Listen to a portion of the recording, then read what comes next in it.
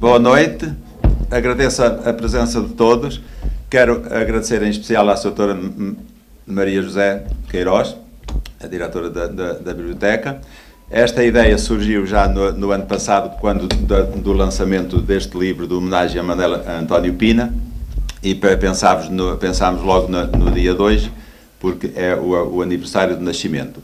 Ele foi a, a apresentado na Cooperativa Árvore, no, dia em que fazia um ano da sua morte, em, em, outubro do último ano, e então pensámos logo no dia 2 para a apresentação. Porquê aqui? Porque, além de imensos prémios que este grande escritor, poeta, jornalista teve, teve também o prémio Teixeira de Pascoais. Essa é a razão principal de estarmos aqui hoje. Para mim é um prazer especial porque me ligam uh, laços especialíssimos a esta, a esta terra, onde, para além de de, gostar dela, de ver sempre, tenho aqui familiares e amigos, portanto é, é um prazer imenso. Uh, na mesa está um homem, com certeza que a maioria conhece, na qualidade de colega, professor ou de, de alunos antigos ou atuais, Júlio Cunha, e está aqui na qualidade de, de designer do, do, do livro e, e autor, portanto, da organização do livro, ele depois falará a propósito disso. Agostinho Santos, eh, também a maioria conhece, jornalista longa data, pintor, eh, colega amicíssimo de, de Mandela António Pina, Pina, trabalharam no Jornal Notícias muitos anos juntos, e então já tinha muitas obras dedicadas a Pina, feitas em vida, e depois da, da morte fez um conjunto de pinturas que estão neste livro. Pediu a mais uma dúzia de grandes amigos de Pina que escrevessem textos, Arnaldo Saraiva, Eduardo Achiote, muitos outros que estão aí no livro. E, e a mim não me compete dizer muito mais, agradecer também a, a Elizabeth Ribeiro, que cantará depois, terminaremos com música, com Elizabeth Ribeiro a cantar, com Emanuela Azevedo ao piano e o grupo coral da, da EB 23. Então, mais uma vez, muito obrigado a todos. Os, os livros estão aí à venda. Também a Unicep, a Unicep é, chama-se Cooperativa, Unicep Cooperativa Livreira de Estudantes do Porto, faz amanhã 51 anos. Uh, tem, é uma livraria em especial, mas também vende arte, livros, revistas, organiza tertúlias, mensalmente tem um, um jantar de amizade. Unicep, amanhã vai ser o centésimo, quadragésimo primeiro jantar de amizade Unicep, como regra é à segunda quarta-feira do mês, amanhã fazemos a terceira quarta-feira porque é o aniversário. Temos a, a, primeira quarta-feira do mês uma roda de choro, que é a primeira que há na cidade do Porto, existe uma em Lisboa já há bastantes anos, ou já está, há um CD até que temos lá à venda, a roda de choro do Porto começou no Unicef há três anos. A primeira quarta-feira do mês, das 22 às 23h30, quem gosta de choro, uma música criada no Rio de Janeiro no século XIX, e quem gosta, no caso do Porto, à primeira quarta-feira do mês, aparecem os músicos que gostam de tocar e cantar e as pessoas que gostam de ouvir e vamos sentando à roda, daí se chama roda de choro. Temos também em outros, temos em, encontros com escritores, apresentações de livros, com músicos, etc, etc. Uh, amanhã vai ser um, um, aniversário especial porque temos a celebrá-lo e ao Apolone, que vem expressamente Palmela de, de dizer poesia, toda de cor. Quem puder ir, ainda há lugares vagos para, para o jantar, funciona com duas hipóteses. Jantar propriamente dito, com inscrições antecipadas, podem inscrever-se amanhã até ao meio-dia, custa 15 euros, com peixe, carne, uma série de coisas, tudo incluído, uh, e juntamos lá até às sete e meia e jantamos no restaurante lá ao lado. Depois às nove e meia, com a entrada livre, para assistir à poesia. Então, uh, passava a palavra ao Júlio Cunha, muito obrigado apanharam-me de surpresa, não é? Porque hoje não estou aqui no papel de, de, presidente do grupo de amigos da Biblioteca Museu, estou aqui numa, numa situação nova que, venho fe, que tenho feito ao longo dos últimos anos de designer. Toda a gente me conhece como pintor, mas de vez em quando faço assim umas brincadeiras, não é? Porque eu acho que isto acaba por ser um, o gozo que dá de podermos fazer um trabalho diferente, não é? E este trabalho, como ele surgiu e o convite veio do Rui, que somos quase aparentados, não é? Somos mesmos, não é? E tive o prazer de conhecer Agostinho Santos há um ano atrás, não é? Mais ou menos, num daqueles dias que eu vou buscar exames a Penafiel e fizemos um encontro para, para estudar e para ver o, o desenvolvimento deste livro num cafezinho em Penafiel. E o primeiro, o espanto, porque eu não conhecia o Agostinho, não é? Foi os desenhos que ele tem, os diários gráficos que ele tem, do António Pina, que não são um, são muitos, não é? E estava ali quase toda a história da, da, da grande amizade que ele tinha, que tem ainda pelo, pelo, pelo Pina. E pronto, e o, o livro foi-se arrastando, e eu fui sendo pressionado, porque normalmente o artista trabalha sob pressão e eu trabalho só sob pressão, e, e à última da hora tive que fazer mesmo o livro, não é? E pronto, surgiu este embrulho que eu, que eu adoro, pronto, como, como, como, como peça também, portanto, estamos a falar de um livro com, com uma qualidade, não, é, não estou a falar de qualidade gráfica, estamos a falar de qualidade de acabamentos, que é muito interessante e que tive o prazer de depois estar presente no seu lançamento na Árvore, na cooperativa Árvore, com um sem número de pessoas muito importantes, para o meu ponto de vista, em termos da literatura e da poesia. E, e só estou aqui nesse papel agradecer a todos por estarem presentes e agradecer a oportunidade que me deram por fazer, eh, pronto, participar deste projeto e, e é isso só. Muito obrigado a todos.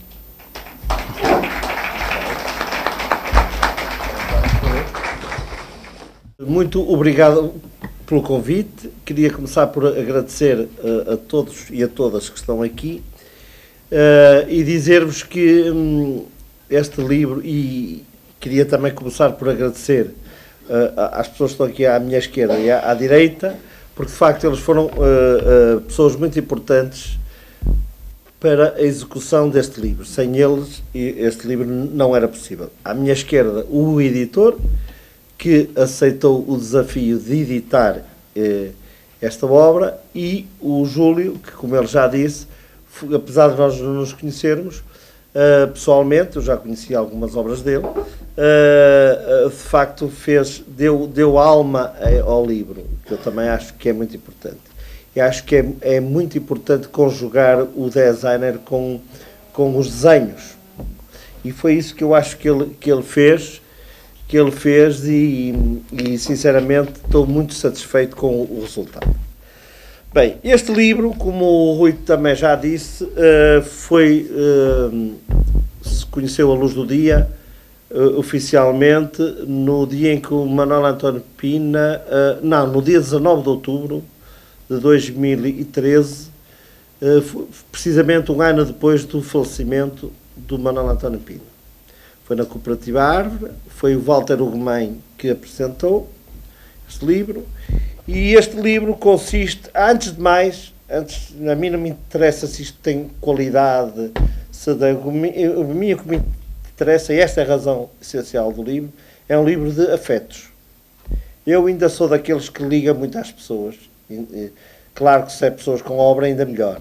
Mas eu era amigo do Manuel António Pina, muito amigo do Manuel António Pina, e este livro é, sobretudo, uma homenagem à forma como eu o via, eh, à forma como, como eu acho que ele era. era uma, no fundo, isto que pretende ser é uma interpretação uh, do dia a dia dos últimos anos que eu o acompanhei.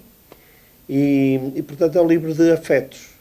E como livro de afetos que é, ou que pretende ser, uh, eu convidei também alguns escritores e alguns amigos, algumas pessoas que privaram com ele além de mim, o caso do Arnaldo Saraiva, do Álvaro Agalhães, do, da Eduarda Chiote, do Sérgio Almeida e de outras pessoas, da própria filha do, do Pina, para, para, a partir dos meus desenhos, fazerem uma, uma, uma interpretação dos desenhos sobre o Pina, obviamente. E, portanto, o que é que se pode dizer do Manuel António Pina? Acho que já toda a gente conhece Manuel António Pina, toda a gente conhece a obra dele. Uh, uh, e eu acho que, além de escritor, de bom poeta e de jornalista, que foi onde eu conheci melhor, de facto, eu trabalhei com ele muitos anos no Jornal de Notícias. Ele foi meu editor, começou por ser meu editor, e depois foi meu amigo. E eu tive o privilégio de, de estar com ele muitos, muitos dias, muitas horas, e tive o privilégio de fazer algo, não, não estes desenhos que estão aqui, que estes desenhos foram feitos depois dele ter falecido, mas fiz muitos outros desenhos, tive o privilégio de os fazer com ele à frente. Uh, ele era um, um, uma pessoa que vivia de noite, eu também, na medida possível, apesar de também ter um, trabalho de dia, uh, mas uh, amávamos a noite e de, geralmente uma vez, duas vezes por semana encontrávamos no Café Convívio no Porto até às duas da manhã e depois das duas da manhã ou ele ia para a minha casa, para o meu ateliê, ou eu ia para a casa dele com os gatos, com um infindável número de gatos, ou íamos para a casa de um ou outro, do Álvaro Magalhães ou de outros amigos, e onde estávamos até às altas horas da, da, da manhã a conversar, e eles a escreverem e eu a desenhar. E, portanto, tive o, privilégio de o ter como o meu o dele, entre aspas, porque também é uma. O Pina era uma pessoa muito fácil de desenhar. É uma bolinha redonda, com os óculos. É uma espécie de Fernando Pessoa, mas, uh, mas, mas, mas diferente. Uh, e, portanto, tive o privilégio de. Estes retratos, entre aspas, estas imagens, não são retratos, são estas, estas imagens que pretendem mais ser uma, uma, uma abranger mais o interior do que o exterior. E eu acho que o conhecia relativamente bem e consegui, eh, em alguns aspectos, consegui captar aquelas emoções, os desejos, as preocupações. O Pina era um homem inquieto, era um homem eh, agitado, apesar de parecer calmo. Quando lhe dava as, as, quando se irritava, era um tipo e quando irritava-se com as desigualdades, com as, com as injustiças, com o dia a dia uh, e com essas com as, as situações, as imensas situações de injustiça que havia e que infelizmente ainda, ainda existem. Portanto, um, o, este livro é, como, como eu disse, um, um, um resultado de vários, de uma série de cadernos que eu tenho, eu ando sempre com os cadernos estilo estes, estilo assim, este tipo. Uh, uh, e eu fiz vários, isto é compilação de vários. Uh, depois, isto foi mais ou menos o luto, foi o período de, de, luto. Quando ele morreu, eu acho que comecei logo a fazer desenhos logo no, no dia seguinte, não sei o quê. Quis, quis, quis meter só desenhos feitos a partir daí e não antes. Uh, e claro que o Pina, uh, o que está aqui são desenhinhos, uh, não são nada de, de, de, especial, mas são apenas desenhos que eu acho que têm alguma alma, têm sentimento. E, e o Pina era um homem, eu não sei o que é que posso dizer mais, o Pina era um homem extraordinário, além de grande jornalista, de grande artista e cronista, artista da, da poesia, obviamente. Uh, e cronista, uh, acho que toda a gente sabe uh, e lia as, as crónicas que ele escrevia na última, na última página, no, no Jornal de Notícias. Uh, e era tão bom, tão bom, tão bom, que o, o, diretor do Jornal Notícias, a partir da altura em que o Pina faleceu, em, o diretor que o contratou, que o contratou não, que o, que o seguiu, quando o contratou já não era este, mas que o continuou a manter eh, as crónicas dele na última, jurou que enquanto fosse diretor do jornal, ninguém iria escrever na última. Ninguém iria escrever um artigo de opinião na última. E assim foi até a última. Ah, agora ele já, esse senhor já não está lá, mas de qualquer maneira é muito difícil ter um, uma pessoa que, escreve, que escrevesse tão bem e, que, e em, tão pouco, em tão pouco espaço. Porque o, o, o segredo, o, o, dom de escrever bem é, escrever, é dizer muito em poucas palavras. Eu acho que o Pina conseguia isso. E o Pina é exatamente isso. O Pina era, um, era uma espécie de, da, da coluna que sai no Jornal de Notícias. Era um homem pequenino, mas dizia muito em pouco tempo. Qualquer conversa que tivéssemos com ele, eu, das milhentas conversas que tive com ele, não houve nenhum dia que não aprendesse alguma coisa com ele. E ele, a propósito de tudo, tinha uma história. Desde contar magnificamente uh, anedotas, desde essas anedotas que tinham história. Uh, sei lá, uh, era, era, de facto uma. uma eu acho que não. Eu, eu não acredito em pessoas insubstituíveis, mas é muito difícil haver outra pessoa como ele. e amigo do seu amigo. Uh, e amigo dos animais. De facto, foi através do Pina que eu também comecei a, a gostar de gatos. E, bem, ele era excessivamente amigo de gatos. Eu acho que era exageradamente amigo de gatos. Ele, na, eu já não me lembro bem, mas das últimas vezes que, que, eu, que eu fui à casa dele, eu tinha para aí uns 28 ou 30 gatos, ou mais. Eu acho que a mulher e a, e a filha têm 50 agora. Acho, segundo me disseram. Acho que aquilo, acho que, é, acho que já não é bem uma casa, mas enfim, pronto. Mas, uh, e porque ele era assim, ia na rua, havia um, um, um, gato a miar, já não conseguia ficar ali com, com, o gato, o gato tinha que vir com ele. Uh, e as filhas eram a mesma coisa, segundo, segundo dizem. Uh, uma delas eu conheço bem. E, portanto, é, é assim, não podiam ver. E, e o Pina era exatamente assim, quer dizer, era, era um bom homem, era uma boa pessoa. E este livro tenta, tenta é um, é, este livro é um livro egoísta. Eu, eu, assumo isto, porque isto de facto é a minha interpretação, a minha visão dele, que eu quis que os outros conhecessem. Mas é, é só a, a minha visão, porque o Pina não é só isto que está aqui, mas também é isto. E para mim é, é isto é que, é que o torna mais homem, mais, mais bom homem, que, que o distingue dos outros. Claro, sem, sem, sem falarmos de forma alguma da, da poesia e da, e da literatura, de, que, ele, que ele é autor e foi autor, mas isso não sou eu a pessoa indicada para falar sobre isso.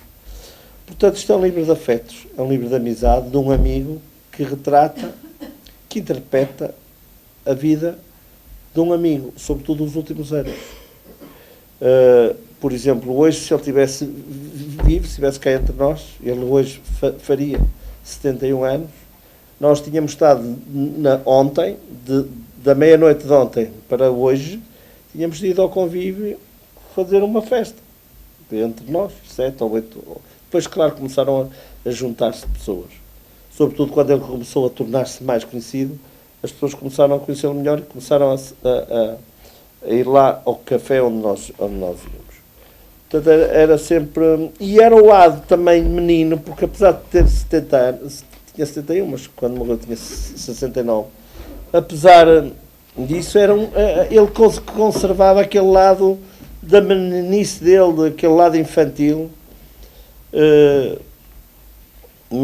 porque ele sabia dizer as coisas com alguma ingenuidade.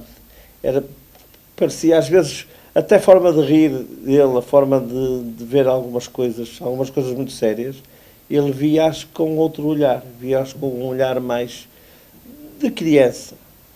Por isso é que ele, se calhar, também eh, eh tinha o, o, dom de escrever eh, para eh, as crianças, para os mais jovens. Ele não dizia, ele não dizia crianças, ele dizia para os jovens, para a, li, a literatura infantil juvenil.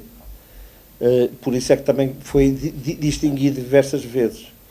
E ele dizia isso, eu ouvi-o várias vezes dizer que escrever para crianças, para os mais novos, é muito mais difícil do que escrever para adultos.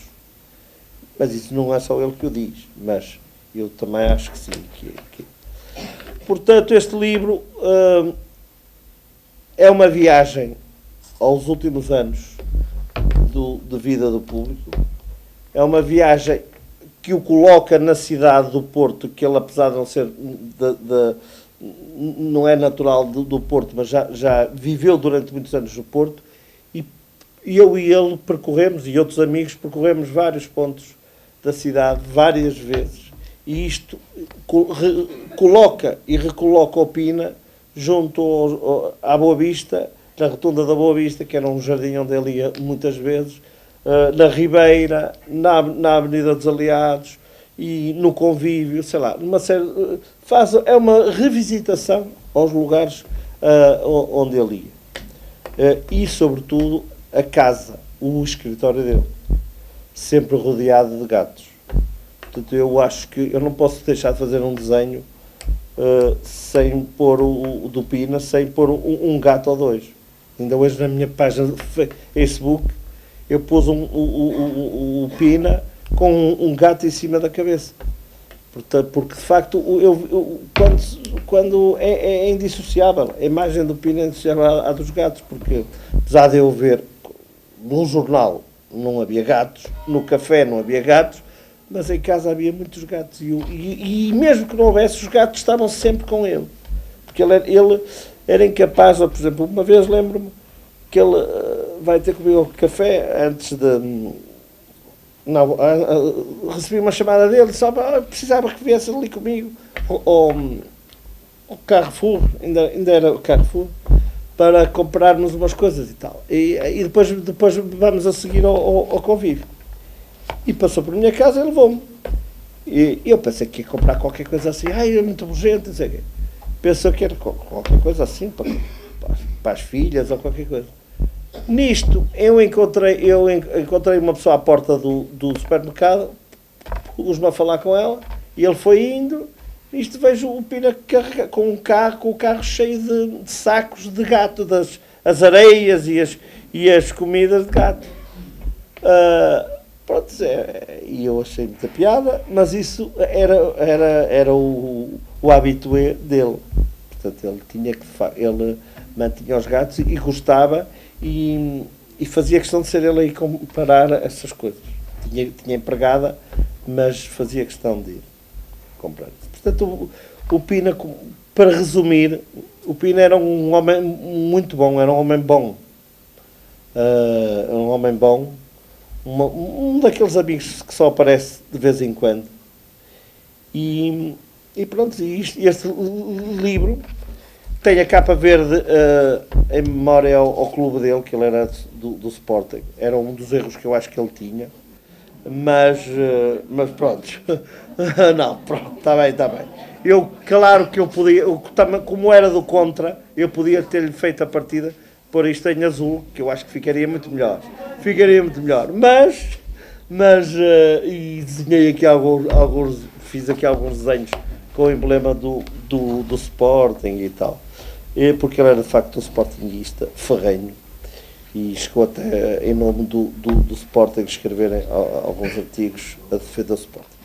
Uh, portanto, isto é uma viagem aos últimos anos do Pina revisitando os lugares que ele conhecia, que ele, que ele ia com, com alguma regularidade, e é sobretudo, e também tem aqui uma espécie de bilhete de identidade, onde nasceu, como é que, os gostos dele, assim, uma espécie de conversa íntima com ele, mas uma conversa através do, do desenho.